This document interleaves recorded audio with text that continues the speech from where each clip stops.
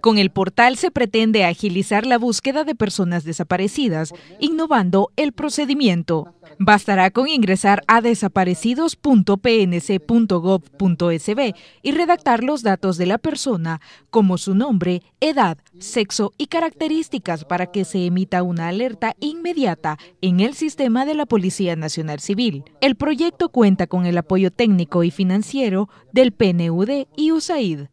Nos accionamos y emprendemos dicha búsqueda, ya que nuestra misión primordial es encontrar a la persona con vida. A través de este nuevo portal electrónico, los ciudadanos también podrán obtener información sobre el caso que haya reportado. A través de esta modernización de los procesos, se permite reducir los tiempos de resolución de los casos, la ciudadanía podrá avisar inmediatamente sobre las desapariciones y la alerta llegará a las autoridades al instante. Como las generalidades de las personas desaparecidas y el estatus de los casos serán públicos dentro del portal, se abrirá posibilidad de que se conozcan más allá de las fronteras.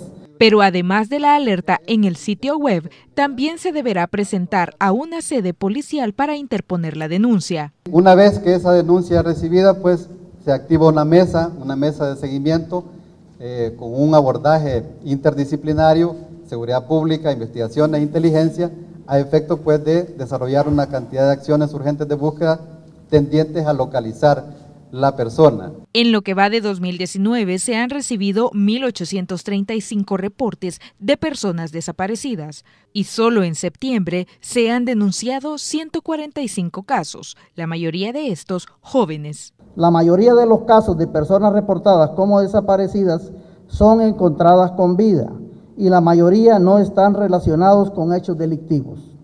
Algunos de los casos de personas que pierden contacto con sus familiares lo hacen por un acto de voluntad propia y responden a razones diversas, más de tipo familiar, relaciones amorosas, económicas o por marcharse del país. La Corporación Policial también está trabajando en una mesa bipartita con la Fiscalía General de la República para coordinar esfuerzos y reforzar la búsqueda de personas que a diario desaparecen en el país.